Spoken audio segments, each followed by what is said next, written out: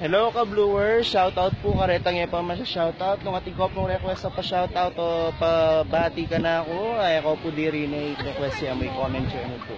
Yan po chuta mo kaya ni King Willis ra kitang pupunta lang talaga rin turista nung no kari magpa-picture na. Then locals kay niya sa depo ni grotto kasi nung akakita mo akakita tayo po yung Virgin Mary tingnan pong grotto kaya pa kababo.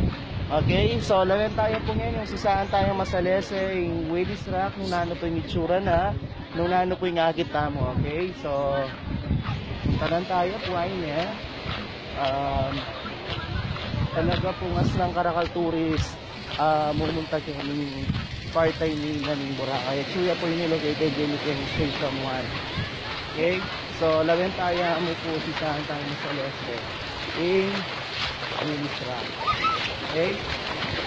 Um, ano po, kaya katamang tourist, talagang kaya sasawang makapag-tour kami, yung heavy po kasanti. Okay? So, ayun po yung bullet ng Rock and uh, makita mo po yung rock formation na ng kasanting.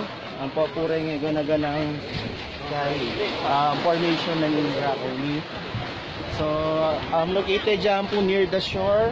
Then, napunta lang tayo po, alakaran tayo naman po makaing malalaming dalangan tayo. So, kung akakita mo po ay hindi po itang thousand ng grotto. Okay. Ayan po yung Virgin Mary, binigkita mo po ngayon ni Kenny. Okay? So, um, Dibutan tayo pa po pa nga bagya. Okay, magtatamo po kayo kanalang tayo. Okay, nung nano pa po nga kita mo, Kenny. So, ka-blowers, um, continue tayo, ma tayo mo pong na-like and share ka na akong page at Blu-ray Vlog, okay? Para po masagi tayo pa po yung updated vlogs, okay? In travel, so, nano man po nung nakarin ko man pumunta. O nung minsan nalaman po kakwenta-kwenta, pero ako po may ka, okay? Pasayan tayo po. Tsaka, um, dakal tayo naman po ababalo ka rin pamanggawan po. Yeah?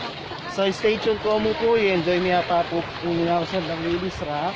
Okay, rin at support and uh, shout out nga po kayo kayo and then have a nice day to everyone ka-bluers.